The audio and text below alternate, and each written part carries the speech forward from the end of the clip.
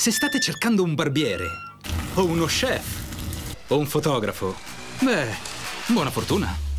Sono tutti impegnati a scegliere una nuova auto, perché FCA ha pensato a chi lavora in proprio. Hai solo dicembre per scegliere bonus impresa, il vantaggio dedicato alle partite IVA sull'acquisto dei veicoli del gruppo. Ad esempio su Fiat 500X il bonus di 4.500 euro sul prezzo di listino. Scopri di più su bonusimpresa.it.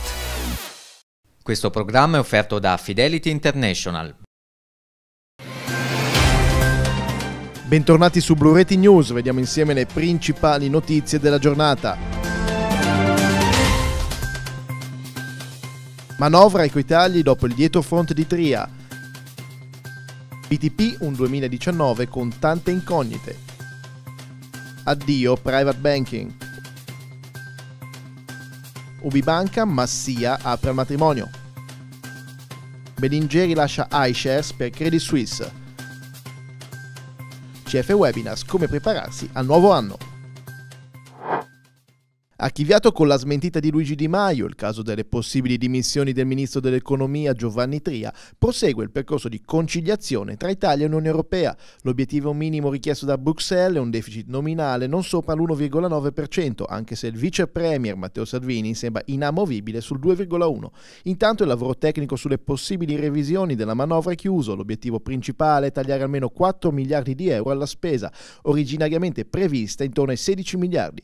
Per farlo si dovrà rivalutare con attenzione la tassa ecologica sull'acquisto dei veicoli. In attesa di capire come si interverrà nel dettaglio su quota 100 e reddito di cittadinanza, si dovrebbe anche riaprire il capitolo sulla pace fiscale, rimosso inizialmente dal decreto, ma che potrebbe rientrare con il saldo e lo stralcio delle cartelle esattoriali.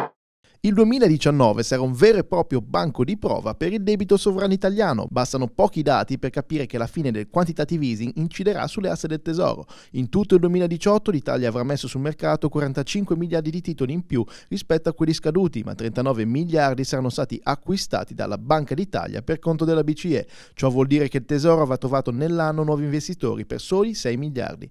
Nel 2019 ci saranno due novità negative. Innanzitutto le emissioni nette saranno in partenza più alte e saliranno a 57 miliardi. Inoltre neppure un euro aggiuntivo sarà acquistato dall'Eurosistema dato che il contributo della BCE si limiterà al riacquisto dei titoli scaduti nel quantitative easing per una cifra intorno ai 30 miliardi per l'Italia. In sintesi l'Italia l'anno prossimo dovrà convincere investitori per 168 miliardi di euro a rinnovare l'esposizione. Inoltre dovrà trovare nuovi acquirenti di bond con durata superiore all'anno per 57 miliardi di titoli, includendo anche i bot più facili da collocare per la durata minore le emissioni lorde totali arriveranno arriveranno a circa 400 miliardi.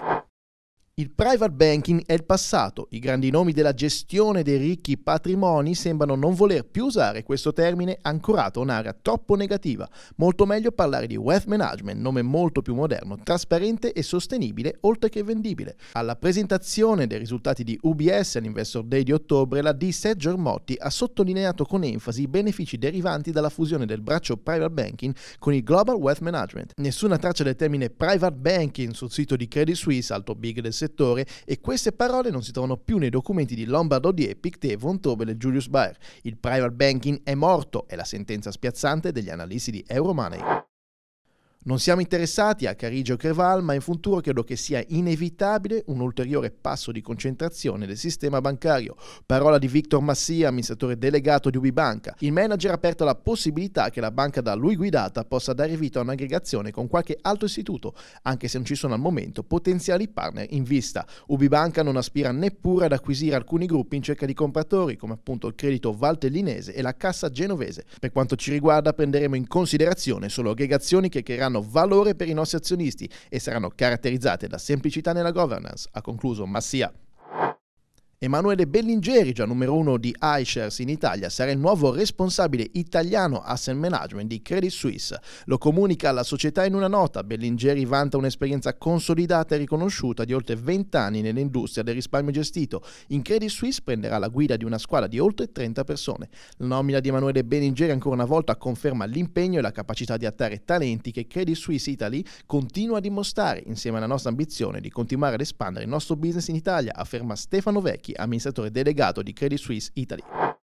ICF Webinar, cicli di incontri organizzati da Unicredit con la collaborazione di Blue Reading danno appuntamento al prossimo martedì 11 dicembre per l'ultima puntata dell'anno. Al centro di dibattito un bilancio dell'anno passato e le prospettive per il 2019. Gli incontri danno la possibilità di approfondire il rapporto tra consulenti finanziari e certificati, strumenti sempre più in voga anche tra i financial planner perché in grado di ottenere rendimenti anche in condizioni di volatilità. Per tutti i dettagli andate sul sito bluerating.com.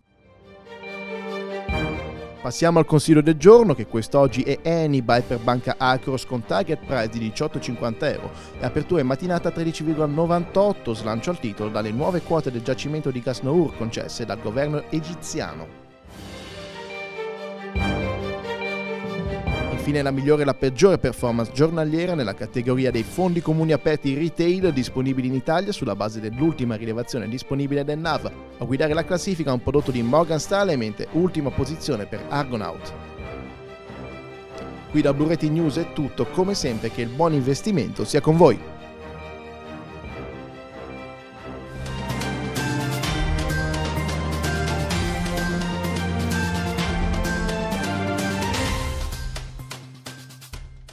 Questo programma è offerto da Fidelity International.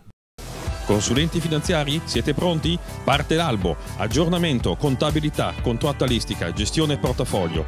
Blue Advisor, la piattaforma per i consulenti finanziari. Prova gratis www.blueadvisor.com